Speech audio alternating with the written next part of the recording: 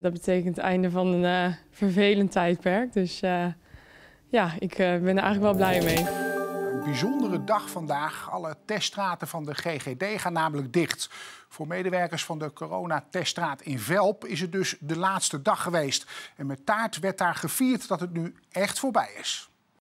Ja, ik zit nu op die plek waar je eigenlijk de afgelopen jaren niet wil zitten. Dat is namelijk zo'n testplek voor corona. Vandaag wel voor het laatst, hier in Velp bijvoorbeeld.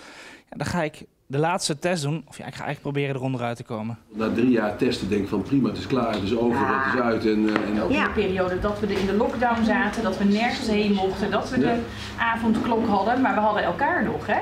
Uit de verhalen blijkt wel hoe ingrijpend de afgelopen drie jaar zijn geweest. Je had je gezin en je had je werk, maar voor de rest kwam je nergens. Hier op de coronatestlocatie in Velp zijn medewerkers vandaag voor het laatst. Zal ik er nog gewoon er eentje afhalen?